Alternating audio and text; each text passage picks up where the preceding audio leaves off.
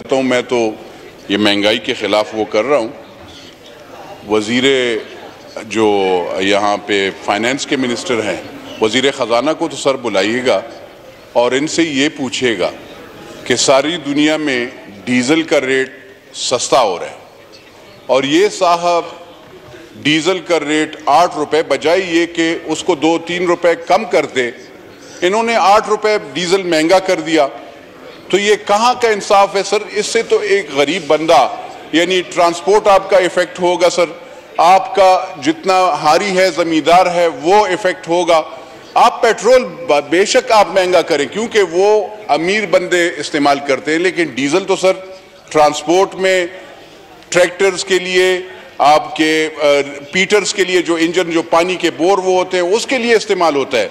तो मुझे ये हैरानी हो रही है कि मेरे ख्याल में क्योंकि जो हमारे वज़ीर ख़जाना साहब हैं, वो इंडस्ट्रियलिस्ट हैं तो उनको खाली इंडस्ट्रियलिस्ट का फ़िक्र होता है, ज़मीर, ज़मींदार और हारियों का कोई फ़िक्र नहीं है। तो ये सर, इस पर बहुत अफसोस की बात है।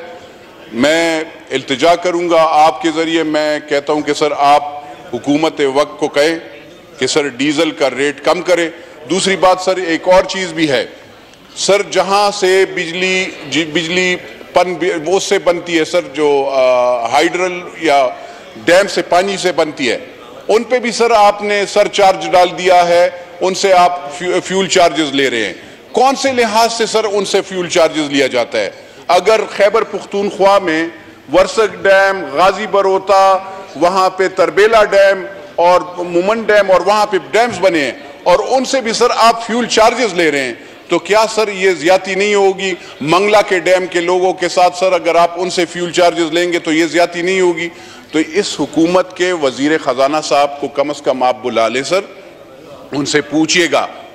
ठीक है, हमें पता है इकॉनमी खराब है, हम इसलिए आवाज़ ज़्यादा नहीं उठाते, लेकिन इस चीज़ पे हम ज़रूर आवाज़ उठाएँगे कि अगर आप डीजल ज़्यादा रेट करेंगे, अगर आप एक गरीब बंदे पे, एक आम पाकिस्तानी पे आप फ्यूल चार्जेस डालेंगे, जहाँ पे फ्यूल चार्जेस की ज़रूरत नहीं है। फ्यूल चार्जेस आप डालें, जहाँ पे डैम्स नहीं है।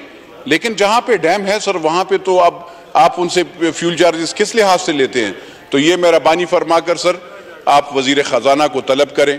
वो आते भी नहीं है इस हाउस में और मुझे बहुत अफसोस होता है। जैसे और फेडरल मिनिस्टर्स आते हैं तो वो तो आए। He is a total failure अगर जिस तरीके से वो चला रहा है।